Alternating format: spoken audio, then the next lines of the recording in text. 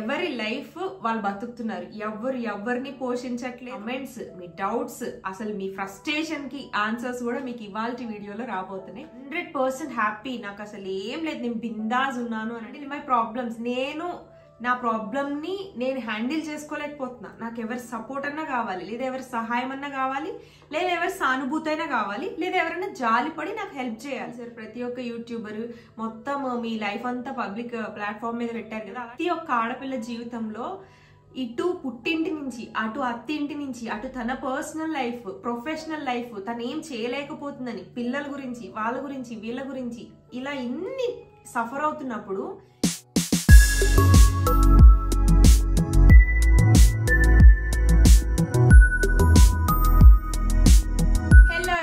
ఎలా ఉన్నారు అందరూ? ఏం చేస్తున్నారు? Welcome back to our channel she Swathi ఏం చేస్తున్నారు? ఎలా ఉన్నారో నాతో కింద కమెంట్ సెక్షన్లో షేర్ చేసుకోండి. అందరూ బాగున్నారని అండ్ అందరూ బాగుండాలని మనస్ఫూర్తిగా కోరుకుంటాను. అలానే మీరు కూడా మేమందరం బాగుండాలని బాగున్నామని కోరుకోండి. సో అప్పుడు అందరం బాగుంటాం. పాజిటివ్గా ఉండడం చాలా మంచిది. సో ఇవాళ ఈ వీడియోలోకి వెళ్ళిపోదాం. అండ్ ఈరోజు సాటర్డే. సో సాటర్డే స్వాతిట్యూడ్ కదా మన స్పెషల్ ఎపిసోడ్. ఈరోజు సాటర్డే స్వాతిట్యూడ్ కూడా చూసేయండి. అండ్ మీరు ఎప్పటి నుంచో వెయిట్ చేస్తున్నా మీ కమెంట్స్ మీ డౌట్స్ అసలు మీ ఫ్రస్ట్రేషన్కి ఆన్సర్స్ కూడా మీకు ఇవాళ వీడియోలో రాబోతున్నాయి. సో వీడియోని ఎక్కడ స్కిప్ చేయకుండా చూసేయండి. అండ్ ఫస్ట్ వీడియోని లైక్ చేయడం మర్చిపోవద్దు. సో స్వాతి గారు ఎవ్వరు వీడియోస్లో ఎందుకు కనిపించట్లేదు? మీ పేర్లు పెట్టి కింద ఎవ్వరు కనిపించట్లేదు మీరు ఎక్కడికి వెళ్ళట్లేదు ఎందుకు ఏం జరుగుతుంది అనేది మీ ఫస్ట్ క్వశ్చన్. సో మీ క్వశ్చన్కి నా ఆన్సర్ ఏంటంటే సో కొంచెం పెద్దగా ఉంటుంది ఆన్సర్ కొంచెం ఓపిక్గా పేషెంట్గా వినండి. వినకుండా మళ్ళీ ప్రతి వీడియోలో రిపీటెడ్గా అదే కమెంట్ పెట్టకండి. సో నా ఆన్సర్ ఏంటంటే మీ క్వశ్చన్ నెంబర్ వన్ అనమాట ఇది. అంటే ఎక్కువగా వస్తున్న కమెంట్ సో నా పర్సనల్ లైఫ్ని నేను ఒక పబ్లిసిటీ స్టంట్ లాగా చేసుకుందామని అస్సలు అనుకోవట్లేదు. నా ప్రతి ఒక్కళ్ళకి ప్రాబ్లమ్స్ ఉంటాయి. మీకు మీ ఇంట్లో ఏ ప్రాబ్లం లేకుండా మీరు హండ్రెడ్ పర్సెంట్ హ్యాపీ నాకు అసలు ఏం లేదు. నేను బిందాజ్ ఉన్నాను అని అంటే నాతో కింద కామెంట్ చేయండి. నేను మీకు కంగ్రాచులేషన్స్ చెప్తాను. ఎందుకంటే అలా ఎవ్వరు ఉండరు. ప్రతి మనిషికి ఏదో ఒక వన్ పర్సెంట్ అయినా ఏదో ఒక ప్రాబ్లం ఉంటుంది. అలానే నా లైఫ్లో కూడా నాకు కొన్ని ప్రాబ్లమ్స్ ఉన్నాయి. ఆ ప్రాబ్లమ్స్ అన్నిటినీ నేను సోషల్ మీడియాలో చెప్పుకొని పబ్లిక్ పబ్లిసిటీ స్టంట్స్ అంటారు కదా వీటిని అలా చేద్దామని అనుకోవట్లేదు. అదేంటి స్వాతి గారు మరి ఏది వచ్చినా సంతోషం వచ్చినా చిన్నదైనా పెద్దదైనా షేర్ చేస్తారు కదా మీరు? మీరేంటి ప్రతి ఒక్క ఇన్ఫ్లుయెన్సర్ ప్రతి ఒక్క యూట్యూబర్ మొత్తం మీ లైఫ్ అంతా పబ్లిక్ ప్లాట్ఫామ్ మీద పెట్టారు కదా? అలాంటప్పుడు మీ పర్సనల్ ప్రాబ్లమ్స్ కూడా చెప్పడానికి ఏంటి అనేది మీ క్వశ్చనే అయితే కనుక ఒక్కసారి మన ఛానల్లోకి వెళ్ళి టూ ఇయర్స్ నుంచి మొత్తం చెక్ చేయండి. మా ఇంట్లో ఇది ప్రాబ్లం అది ప్రాబ్లం అని నేను చెప్పను. అండ్ చెప్పాలని అనుకోవట్లేదు. ఎలాంటి ప్రాబ్లమ్స్ మనం షేర్ చేస్తామంటే ఎప్పుడు షేర్ చేస్తామంటే ఒకవేళ I'm not capable enough to handle my problems నేను నా ప్రాబ్లమ్ని నేను హ్యాండిల్ చేసుకోలేకపోతున్నా. నాకు ఎవరి సపోర్ట్ అన్నా కావాలి లేదా ఎవరి సహాయం అన్నా కావాలి లేదా ఎవరి సానుభూతి అయినా కావాలి లేదా ఎవరైనా జాలిపడి నాకు హెల్ప్ చేయాలి. అలాంటి సిచ్యువేషన్లో నేను మీకు నా ప్రాబ్లం అనేది షేర్ చేయాలి. సో ఇక్కడ నా ప్రాబ్లం నేనే సాల్వ్ చేసుకోవాలి. నాకు ఏదైనా ఇబ్బంది ఉంటే దాన్ని నేనే ఫేస్ చేయాలి. అలాంటప్పుడు నేను నాకు ఇది ప్రాబ్లం అని మీకు చెప్తే మీ నుంచి వచ్చే సానుభూతి జాలి లేకపోతే ఒక లైకో షేరో ఒక సబ్స్క్రైబో లేకపోతే ఒక వీవో దాని నుంచి వచ్చిన ఒక వన్ డాలరో నాకు అవసరం లేదు. నాకు నా ప్రాబ్లమ్ని నేను ఏదైనా ఉంటే నేను సాల్వ్ చేసుకోగలను అన్న కెపాసిటీ నాకు ఉంది కాబట్టి నేను పబ్లిక్గా చెప్పను. చెప్పాల్సిన అవసరం కూడా లేదు. అండ్ ప్రతి ఒక్కరికి ఇప్పుడు వెనకటి రోజుల్లో పంచాయతీలు ఉండేవి. ఎందుకు ఉండేవి? ఒక కుటుంబంలో ఏదైనా ఒక సమస్య వచ్చినప్పుడు వాళ్ళు అది పంచాయతీలో పెట్టి వాళ్ళు వాళ్ళు సాల్వ్ చేసుకోవాల్సిన చిన్న విషయాన్ని పంచాయతీలో పెట్టి సాల్వ్ చేసుకునేవాళ్ళు. అది ఇప్పుడు ఉందా? లేదు కదా? అలాంటప్పుడు ఇంట్లో ఏదైనా ఒక ప్రాబ్లం ఉంటే నాకు నేను సాల్వ్ చేసుకుంటా. అలా అని మా ఇంట్లో చాలా పెద్ద ప్రాబ్లం ఉందని కూడా నేను చెప్పట్లేదు. ఒకవేళ ఏదైనా ఇబ్బందిగా ఉంది అని అంటేనే అది బయట వరకు చెప్పట్లేదు అనేది మీరు అర్థం చేసుకోవాలి. ఇన్ని సంవత్సరాలుగా ప్రతిరోజు మీరు నన్ను చూస్తారు. నేను ఏంటో తెలుసు మీకు నా గురించి తెలుసు. అంటే వీడియోస్లో చూసి అర్థం చేసుకుంటున్నారు. చాలామంది మీలో నాతో పర్సనల్గా మాట్లాడే వాళ్ళు కూడా ఉన్నారు. అండ్ నేను అర్థం చేసుకునే వాళ్ళ గురించి మాట్లాడట్లేదు. ఎవరైతే నెగిటివిటీ ఎక్స్పెక్ట్ చేస్తున్నారో ఒకళ్ళ లైఫ్లో ఇలా అవ్వాలని ఎక్స్పెక్ట్ చేస్తున్నారో ఒకళ్ళ లైఫ్ బాగోకపోతే చూసి సంతోషపడదామని ఎక్స్పెక్ట్ చేస్తున్నారో లేకపోతే మీరేమని ఎక్స్పెక్ట్ చేస్తున్నారో సో సో సో దాని గురించి నేను చెప్తున్నాను. ఎవరి లైఫ్ వాళ్ళు బతుకుతున్నారు. ఎవరు ఎవరిని పోషించట్లేదు ఎవరు ఎవరికి హెల్ప్ చేయట్లేదు. ఒకవేళ మీరు నన్ను పోషిస్తే మీకు ఒక క్వశ్చన్ మార్క్ చేసి ఒక క్వశ్చన్ చేసి మీరు నా నుంచి ఏదైనా ఆన్సర్ ఎక్స్పెక్ట్ చేసే అంత రైట్ మీకు ఉంటుంది. అంతే తప్పించి మీకు ఇంతకుముందు ప్రతిసారి వీడియోస్లో నేను ఇదే మాట చెప్తాను. మీకు నాకు నా పర్సనల్ లైఫ్కి నా పర్సనల్ స్పేస్కి మధ్యలో ఒక చిన్న థిన్ లైన్ ఉంటుంది. ఆ లైన్ని లిమిట్ని మీరు క్రాస్ చేయొద్దు నేను క్రాస్ చేయను ఎప్పుడు అని చెప్పి ఛానల్ స్టార్ట్ చేసిన దగ్గర నుంచి మొత్తుకొని చెప్తూనే ఉంటాను నేను. నా విషయమే కాదు ప్రతి ఒక్క ప్రతి ఒక్క యూట్యూబర్ ప్రతి ఒక్క సోషల్ ఇన్ఫ్లుయెన్సర్ వాళ్ళ లైఫ్లోకి మీరు వెళ్ళిపోయి మీరు ఊహించేసుకుని ఏదో ఏదో ఏదో కామెంట్స్ చేసేసి వాళ్ళ లైఫ్ని ఇంకా కొంచెం క్రిటికల్ చేయకండి. అంటే ఎవరి ప్రాబ్లమ్స్లో వాళ్ళు ఆల్రెడీ మీరు కూడా ఇప్పుడు నేను మాట్లాడుతున్నా మీ గురించి కూడా చెప్తున్నాను స్వాతి చూడంటున్నా కాబట్టి. ఇప్పుడు ప్రతి ఒక్క ఆడపిల్ల జీవితంలో ఇటు పుట్టింటి నుంచి అటు అత్తింటి నుంచి అటు తన పర్సనల్ లైఫ్ ప్రొఫెషనల్ లైఫ్ తను ఏం చేయలేకపోతుందని పిల్లల గురించి వాళ్ళ గురించి వీళ్ళ గురించి ఇలా ఇన్ని సఫర్ అవుతున్నప్పుడు ఇంతమంది బాధ పెడుతున్నప్పుడు ఒక ఆడదానికి ఆడదని మీరే శత్రువులాగా అయిపోయి మీరు మీ ఇష్టం వచ్చినట్టు కమెంట్స్ చేస్తూ బయట అండ్ ఇక్కడ కూడా అలా ఉండకండి. ఫస్ట్ మార్పు అనేది మన దగ్గర నుంచి రావాలి. సో ఇది నేను మీ నుంచి ఎక్స్పెక్ట్ చేస్తున్నాను. సో నాకేమైనా అంత ప్రాబ్లము లేకపోతే నా లైఫ్లో అంత పెద్ద విషయం ఏదైనా జరిగితే మీకు ఖచ్చితంగా షేర్ చేస్తాను. ఆ షేర్ చేసేంత వరకు కొంచెం మీ స్పేస్ మీరు తీసుకోండి నా స్పేస్ నాకు ఇవ్వండి. ఇంకెంతకైనా ఇంక ఇంతకన్నా నేనేం చెప్పలేను ఆ విషయం గురించి. అండ్ ఎవరి గురించి నేను మాట్లాడదాం అనుకోవట్లేదు. ఒకరి గురించి చెప్పే రైట్ నాకు లేదు కాబట్టి నా గురించి మాత్రమే నేను చెప్తున్నాను. అండ్ ఇంకొకటి హనీ విషయం. నేను చాలాసార్లు హనీ విషయంలో ఎన్ని మాటలు ఎన్ని కమెంట్స్ మాట్లాడుతున్నా సరే నేను నెగిటివ్ కమెంట్స్కి పెద్దగా రెస్పాండ్ అవ్వను. ఎందుకంటే వచ్చేదో అడపాదడప ఒక కమెంట్ వస్తుంది. అలాంటి వాటికి నేను హైలైట్ చేసి వాళ్ళని ఏదో హీరో హీరోయిన్ చేసి నేను అనుకోవట్లేదు. ఎందుకంటే అట్లా రెచ్చిపోతారనమాట వాళ్ళు ఇష్టం వచ్చినట్టు ఏం లేదు. ప్రతి ఇంట్లో మనకి వైఫై యాక్సెస్ ఉంది. ఇదే మీరు ఒకళ్ళ లైఫ్ గురించి మాట్లాడి కమెంట్ చేసే దాని మీద ఇంట్రెస్ట్ మీ లైఫ్లో మీరు పెడితే ఎవరైతే నేను ఏం చేయలేకపోతున్నాను ఎదుటి లైఫ్లో ఏదో జరిగిపోతుందని బాధపడే వాళ్ళు ఉంటారో ఒక్కసారి ఒక వన్ మంత్ మీకు మీరు ఒకళ్ళ లైఫ్ గురించి వదిలేసేయండి. ఒకళ్ళు ఏం చేస్తున్నారు అనేది పట్టించుకోకండి. వదిలేసేయండి. అసలు మీ లైఫ్లో మీరేం చేయాలి? నలుగురిలో మీరు ఎలా గొప్పగా బతకాలి? అసలు మీకంటూ మీరు ఒక వాల్యూ క్రియేట్ చేసుకుని మీరు ఎలా ఒకలా ఉండాలి అనే దాని మీద మీరు కాన్సన్ట్రేషన్ పెట్టండి. ఈ నెగిటివిటీ ఇలా వేరే వాళ్ళ దాని మీద కాన్సన్ట్రేషన్ తీసేసి అప్పుడు మీకు మీకే అనిపిస్తుంది. లైఫ్ అంటే ఇది ఇలా బతకాలి ఇలా ఉండాలి అని చెప్పి. సో హనీ విషయము మధ్యలో చెప్తూ ఆగిపోయాను. హనీ కోణీలు ఇవ్వరా హనీని ఎందుకు అలా పెంచుతున్నారు? అంటే ఏంటి? హనీని హనీని ఎందుకు రెడీ చేయరు? హనీకి మేకప్ వేయరేంటి హనీకి మంచిగా హెయిర్ స్టైల్స్ జడలేయరేంటి లేకపోతే మీరు బాగా రెడీ అవుతారు హనీని ఎందుకు రెడీ చేయరు? ఇలా ఎన్ని క్వశ్చన్స్ అంటే ఇప్పుడు హనీకి ఓణీలు ఇస్తాము ఇవ్వము అనేది నా చాయిస్.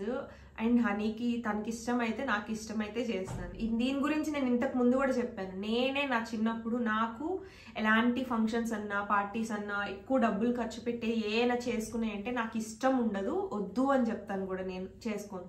మా ఇప్పుడు మీరు అడుగుతున్నారని కాదు మా అమ్మ మా మా డాడీ మా మమ్మీ వాళ్ళు అక్క వాళ్ళు మా పెద్దమ్మ వాళ్ళ కూతుళ్ళు వాళ్ళు వాళ్ళు అందరు నన్ను అడుగుతూ ఉంటారు హనీకి ఫంక్షన్ చెయ్యి ఓణీలు ఇవ్వనంటే సో ఓకే మీకు ఆన్సర్ చేయాలి కాబట్టి ఈ విషయానికి నేను మీకు ఆన్సర్ చేస్తాను. గత కొన్ని ఒక వన్ ఇయర్ కింద కూడా నేను నేను కూడా అంతే అనుకున్నా. బాగా చేయాలి ఇలా చేయాలి అలా చేయాలి ఇంత గ్రాండ్గా చేయాలి అని చెప్పి అనుకున్నా. బట్ ఎట్ సమ్ పాయింట్ నాకు నేనే రియలైజ్ అయ్యి నేనే నా చిన్నప్పుడు ఒక ఓణీలు కానీ ఒక మెచ్యూర్ ఫంక్షన్ కానీ ఒక బర్త్డే కానీ ఎప్పుడు సెలబ్రేట్ చేసుకోలేదు. ఎందుకు? నాకు ఇష్టం ఉండదు. అలాంటిది ఇప్పుడు నీ కూతురికి నువ్వు ఎందుకు సెలబ్రేట్ చేయాలి గ్రాండ్గా చేయాలని అనుకుంటున్నావు అని చెప్పి ఒక క్వశ్చన్ వేసుకున్నా. దానికి ఆన్సర్ చూస్తే నాకు ఏం దొరకలేదు. ఇప్పుడు ఓనీలు కానీ లేకపోతే ఏదైనా ఫంక్షన్ గ్రాండ్గా చేయాలి అని అంటే కొన్ని లక్షలు ఖర్చు పెట్టాలి. సింపుల్గా సింపుల్గా వేసుకున్నా సరే ఒక పది లక్షలన్నా ఖర్చు అవుతాయి. ఈ డబ్బులు నువ్వు ఖర్చు పెట్టి ఫంక్షన్ చేసి నువ్వేం సాధిస్తున్నావు?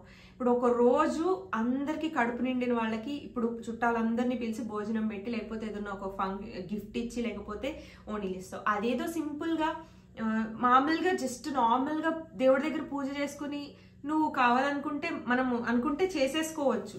అలాంటిది ఆ ఫంక్షనే చేయాలి. ఎందుకని ఇది నా ఆలోచన చెప్తున్నా. ఎవరికి చేయొద్దు చేసుకోవద్దు డబ్బులు ఖర్చు పెట్టద్దు నేను ఎవరికి చెప్పట్లేదు ఎవరి ఇష్టం వాళ్ళది ఎవరి రూపాయి వాళ్ళది ఎవరి ఇష్టానికి వాళ్ళు చేసుకోవచ్చు. నా విషయం చెప్తున్నా మీరు ప్రతిసారి ఇదే క్వశ్చన్ అడుగుతున్నారు కాబట్టి హనీ మెచ్యూర్ అయిందా? హనీ కోణీలు ఫంక్షన్ చేయరా? హనీకి ఫంక్షన్ చేయరా? హనీని రెడీ చేయరా?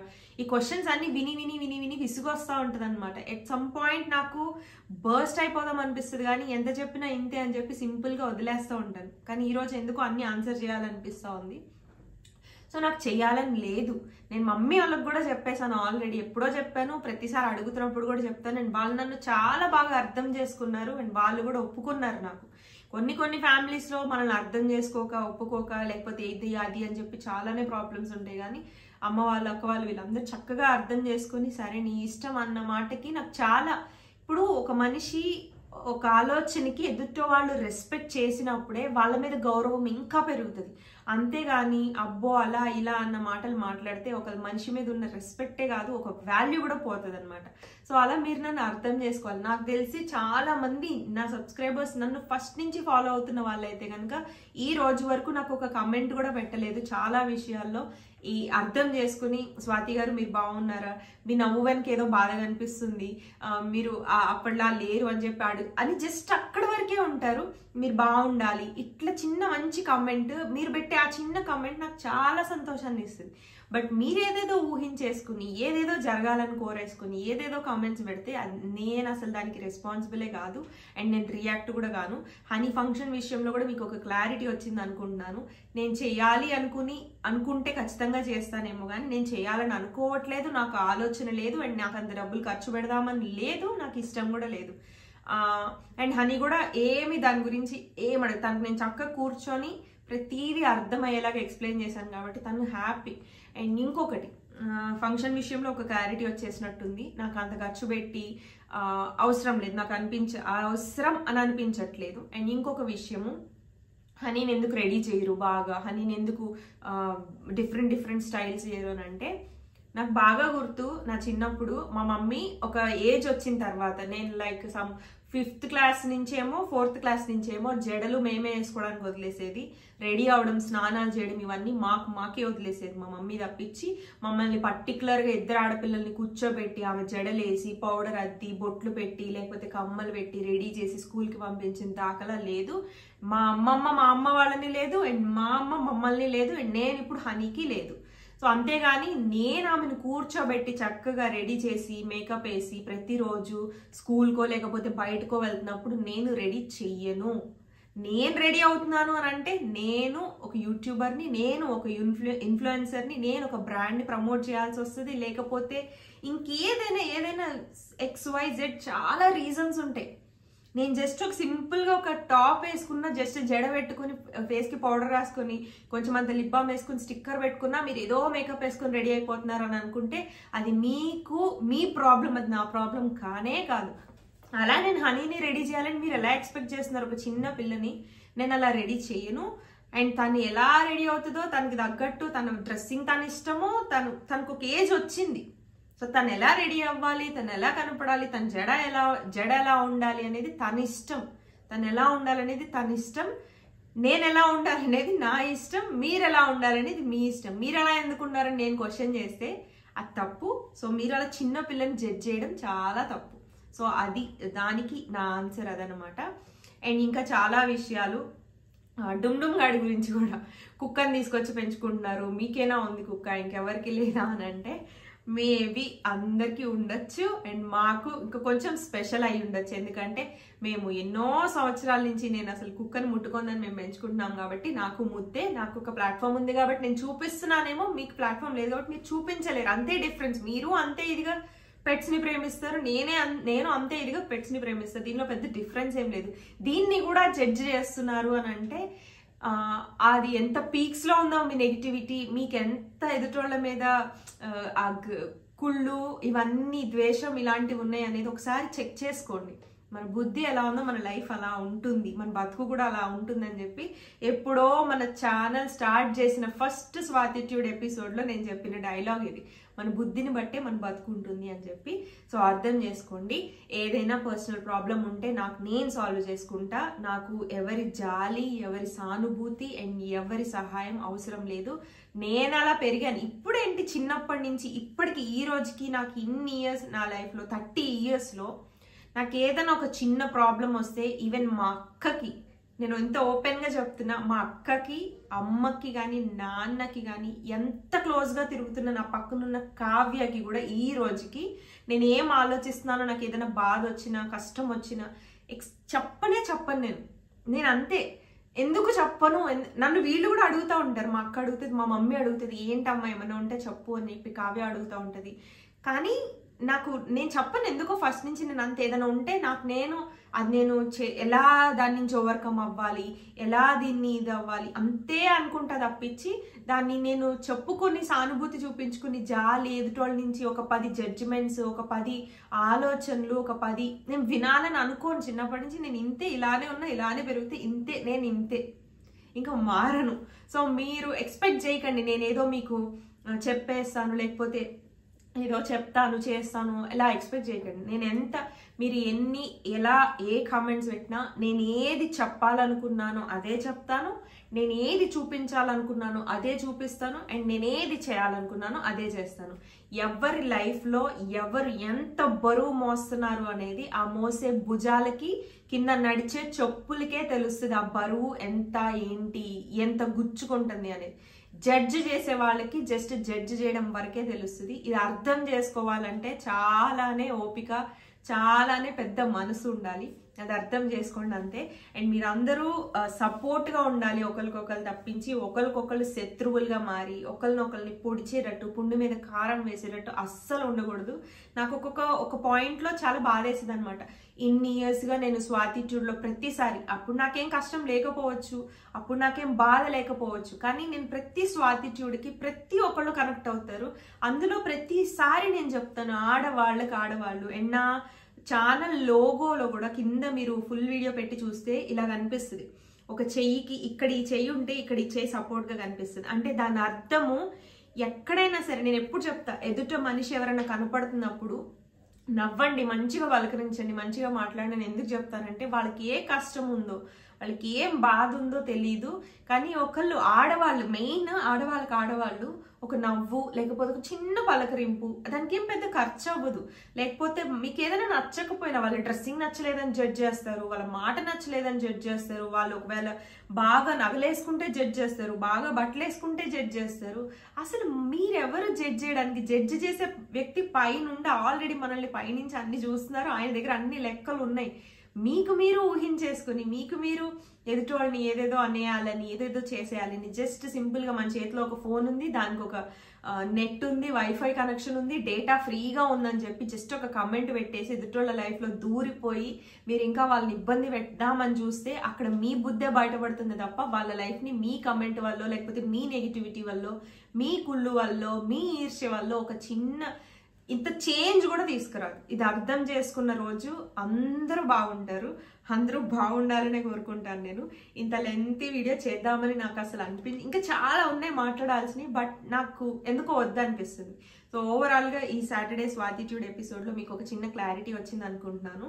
ఏది ఉన్నా సరే ఇక్కడి నుంచి మన వీడియోస్లో కంటెంట్ వీడియోస్ చేద్దామని నాకు ఉంది బట్ కంటెంట్కి వచ్చినంత రీచ్ నార్మల్ పిచ్చి పిచ్చి వీడియోస్కి వచ్చినంత రీచ్ కంటెంట్కి లేదు. ఆ ఆదరణ ఒకప్పుడు బాగుండేది ఇప్పుడు లేదు అన్న ఒక ఆలోచనతోటి నేను ఎక్కడో ఒక స్టెప్ బ్యాక్ వేసానేమో ఎందుకంటే కంటెంట్ వీడియోస్ కోసం ఎంత కష్టపడాలో నాకు బాగా తెలుసు.